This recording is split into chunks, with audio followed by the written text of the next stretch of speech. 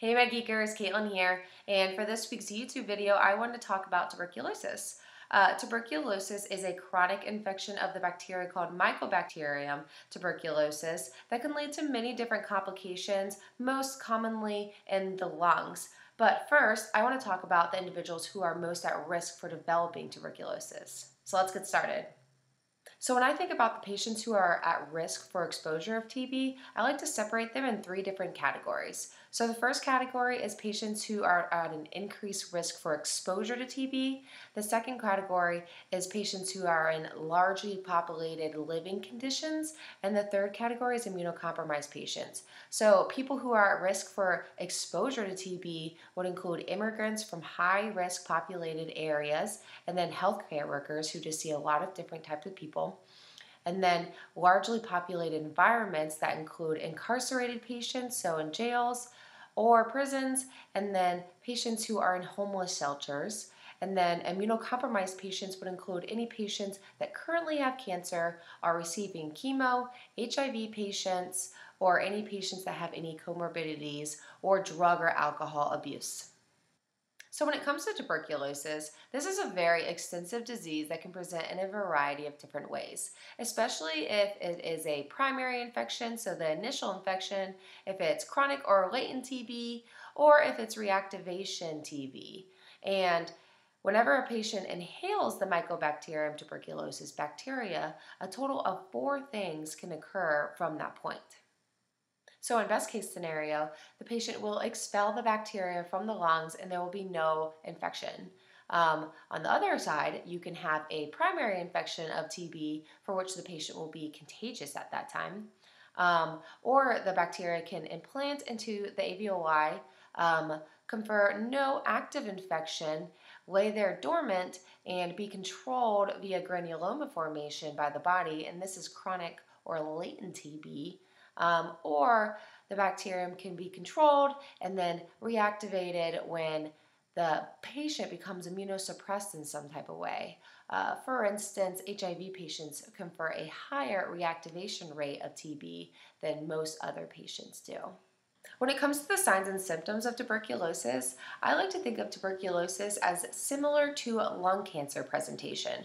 So the patient will have the obvious pulmonary symptoms of shortness of breath, cough, and sometimes that pleuritic chest pain, but they will also have some constitutional like symptoms of lung cancer, like fevers, chills, night sweats, and fatigue.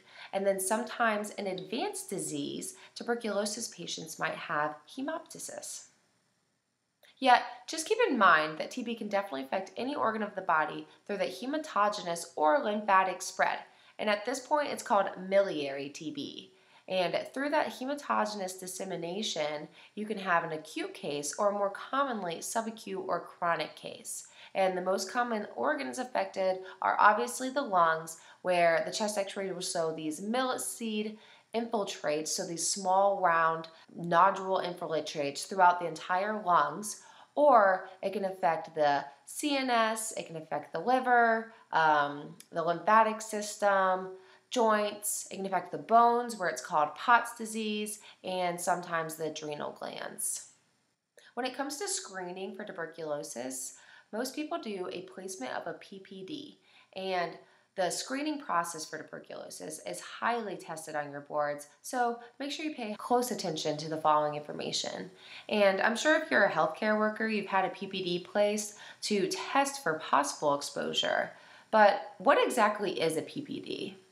First of all, PPD stands for purified protein derivatives, and the solution is based up of tuberculin units that when placed underneath the skin, creates a little wheal, and if the patient has antibodies to tuberculosis, there will be an inflamed area of induration from the cell mediated response in the body. And patients who have had previous TB exposure should have this response and create a little place of induration. And I must stress that this place of induration is an elevation from the skin. So it's a little edema, it's a little wheal that forms from the reaction to the cell mediated response of that tuberculin skin units. So it's not erythema, it's induration that you're looking for for a positive PPD test. So first you place the PPD under the skin, make a wheal like I told you previously, wait 48 to 72 hours to allow for your body's cell mediated response to occur, then measure the induration, not the erythema you see on the skin.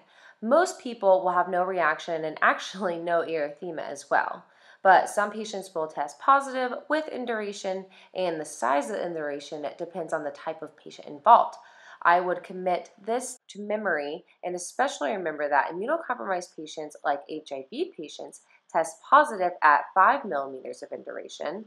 Healthcare workers test positive for 10 millimeters of induration, and regular patients at no increased risk will test positive at 15 millimeters of induration.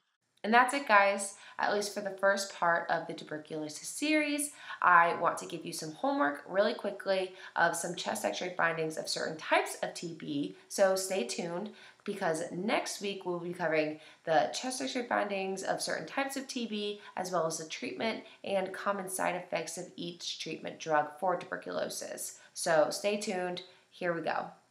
Okay guys, these are some classic chest x-rays of certain types of TB that I talked about in the beginning of this episode.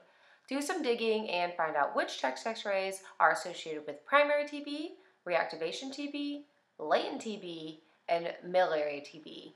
I'll talk about this next week, so see you then.